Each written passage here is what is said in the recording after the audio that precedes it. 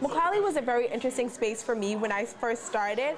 I was having a lot of trouble adjusting and felt a lot of hostility in the form of microaggressions from students and a little bit from administrators as well. And with those feelings, I was really unsure what to do or how to handle them and started speaking more with the administration, Mike and Drew, trying to figure out why I felt so uncomfortable here. And through speaking with all these people, I realized that it wasn't just me, that a ton of students of color in Macaulay were feeling that way, were feeling the isolation, were feeling the hostility, and I decided to bring that conversation to a greater platform.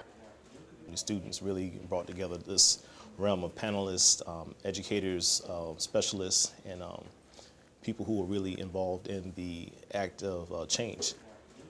We had great representation from different schools, administrations, different organizations, and I'm just really happy that people came together and they were excited.